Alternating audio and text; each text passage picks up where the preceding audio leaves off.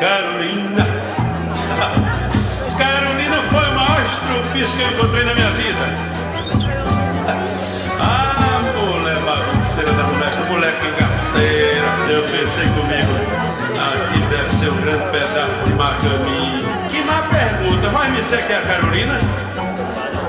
Ela escorou na perna esquerda, descansou a direita, botou a mão nos quatro, balançou e disse, pergunta bem, Carolina. Ah, quer dançar mais eu? Ela disse, for agora. Abufelei e saí com essa mulher. Joguei ela para a direita, ela veio. Joguei para a esquerda, ela estava aí. Mulher adivinhona.